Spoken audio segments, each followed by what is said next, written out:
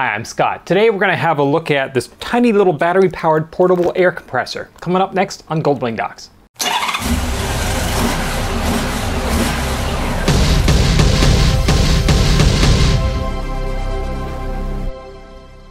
So I get a lot of requests from companies to do video reviews on my YouTube channel. They want to send me free stuff so that I will put it on the channel and review it or basically sell it for them.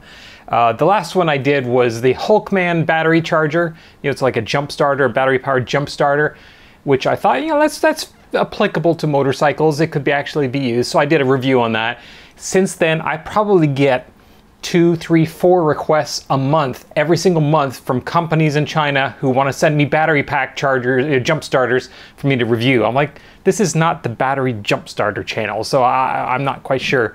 I mean, when I get stuff like the Innovv K5 camera, I mean, this is meant for motorcycles. This is a no-brainer. People love those. Uh, but sometimes I get stuff that's right out of left field. I, I got a request from a company. They wanted to send me a it was like a surveillance camera so that you could put it in your house and watch your pets or something. I'm like, have you even seen this channel? Do you know what this channel is about? I don't know why these companies think that they could just send random stuff to, to people and have them review it for free, but they do. Anyway, so I got a request from this company, uh, Balit, and it is for a tiny little portable air compressor. They said, and I thought, well, actually, that's probably useful. I know 1500s, 1800s, they have onboard air compressors. Uh, and of course, the 1100 and 1200 they do as well, but those compressors are actually meant for the suspension. Yes, on the 1500 you have a hose, so you in an emergency you can use that to air up your tires, but it's a tiny little compressor and to replace that, if you actually burn that out or, or damage it from using it to inflate a tire, a, a used one is going to cost you several hundred dollars. So for that reason, I actually carry a tiny little compressor in my bike with me that I can plug into the bike and use if I ever need to air up a tire. Now, why would I need to air up a tire on my bike? Well, I carry tire plugs with me.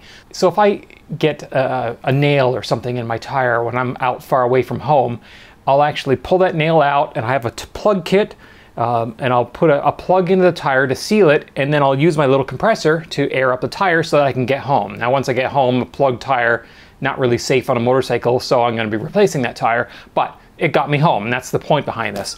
So this tiny little portable air compressor, the difference between this and the one that I carry is that this one is actually rechargeable. It has an internal battery that, so you don't have to actually plug it into the bike to run it. So I thought, well, we'll have a look. I, am like, uh, usually I am, I'm pretty skeptical about these things. It's pretty tiny. I don't know if it's gonna actually have the power and capacity to actually air up a tire. Um, but we'll find out. So this is what they sent me, this little box here. Let's uh, open it up and see what's inside.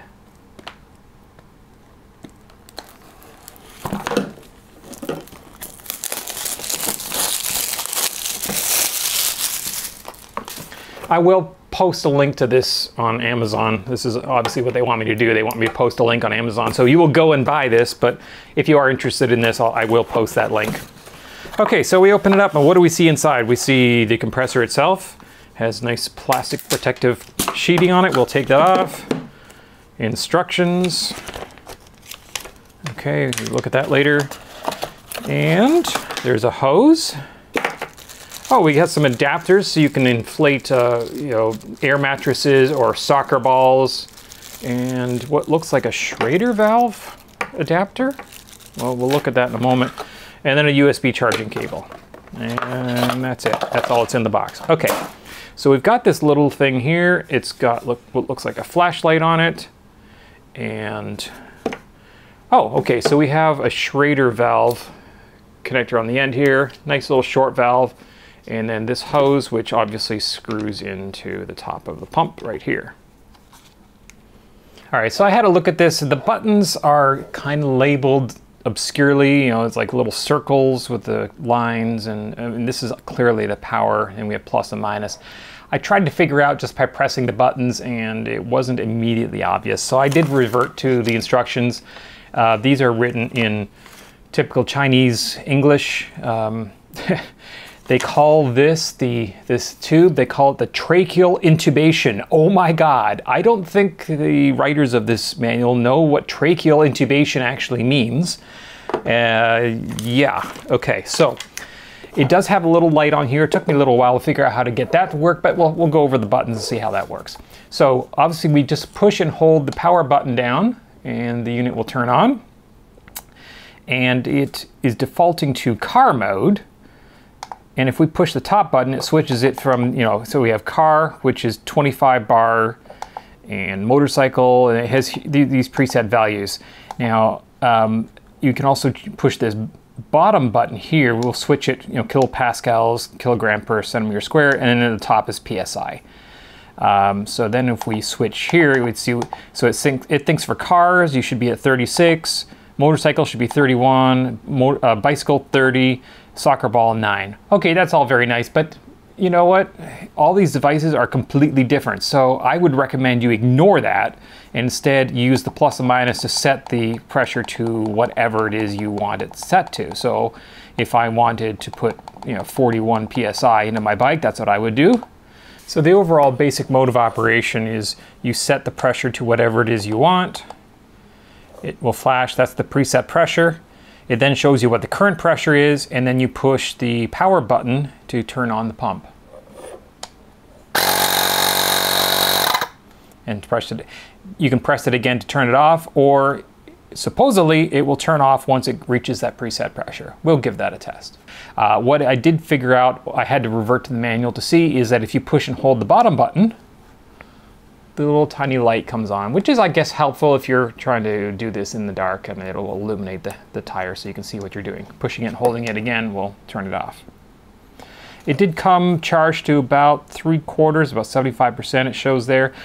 In fairness, I am going to take this and I'm going to let it charge to 100% before I actually test it uh, just to make sure that we're giving it a fair test. So I will go ahead and charge this now. Once it's charged fully, I will then move off to the garage. We'll give this thing a real world test. All right, so we've fully charged this thing. It's taken about an hour and a half to charge it. You just plug the USB-C cable into the bottom there. Um, I'm going to use my little valve core tool. If you don't have one of these, you should get one. I'll put a link in the description below to uh, let the air out of my rear tire. The rear tire on my bike is uh, a car tire. It's much larger than the front one, so I'm going to use it for the test because it's going to be a, a tougher test for this thing to use. So I'll just unscrew the valve core just a little bit and wait for all the air to come out. All right, so I've now tightened the valve core back in. Now, if there was pressure remaining in, in the tire, when you put this on, it'll actually show you what the pressure currently is. So this actually works as a, as a tire pressure gauge as well.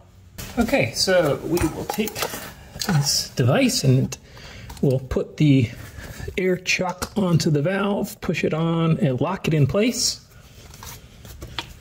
And we'll turn this on. Hold down this button. There's our display.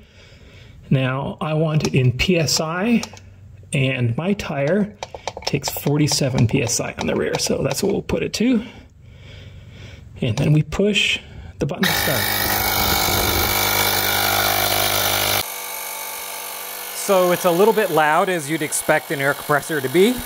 Um, I will time it to see just how long it takes to get to 47 psi.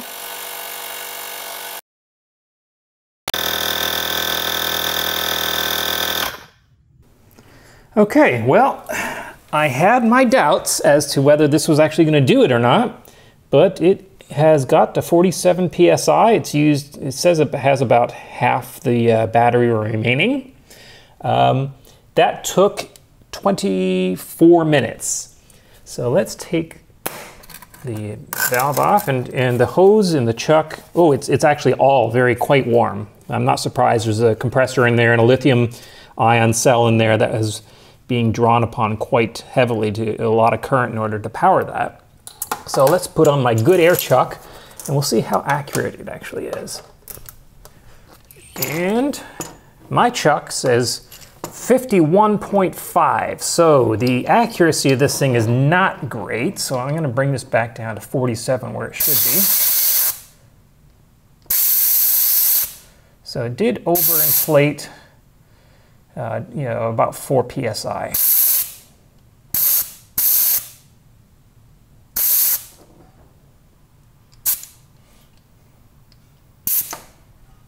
Okay.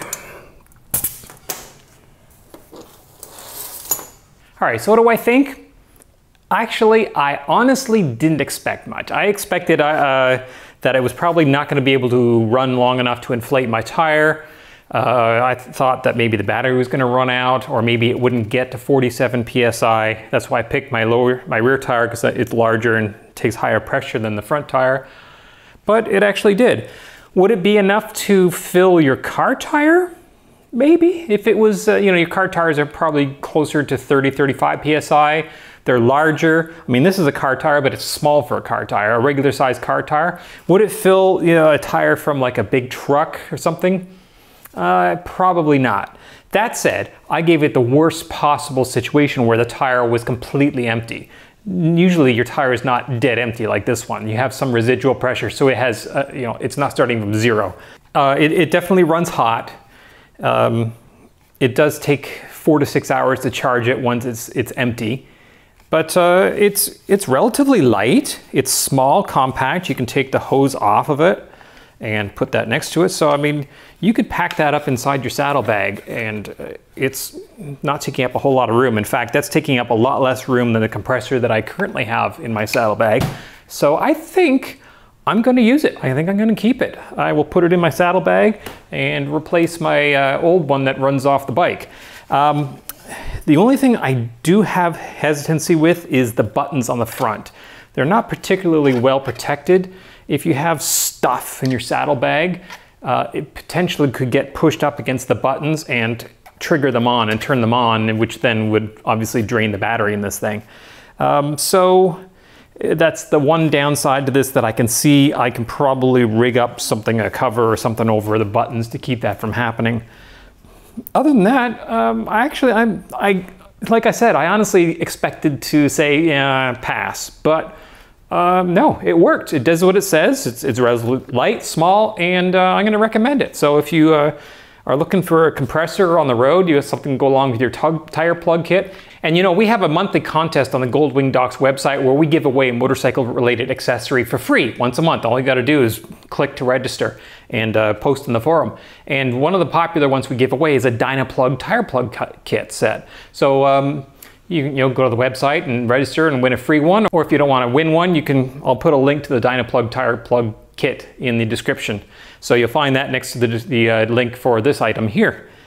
Uh, if you want to have a little, uh, you know, a second chance, if you're out on the road and you get a tire puncture, you don't want to be rescue, you don't have to wait for rescue, and there might not be rescue where you are. Uh, this is a pretty good alternative. It's going to take you half an hour. You're going to have to plug the tire and, and you'll have to wait for this to, to uh, pump the tire back up, but at least you're not stranded. Uh, if you like what you saw here today and you want to see more videos like this, don't forget to click like and subscribe down below. Click that little bell because uh, then you get a notification when we post a new video and it really helps us out. And of course, don't forget to check out the Goldwing Docs forum. We've got so many friendly people on there, lots of experts that can help you with any Goldwing issue you ever have, and plus lots of friendly people, so just come on and say hello. Thanks for watching.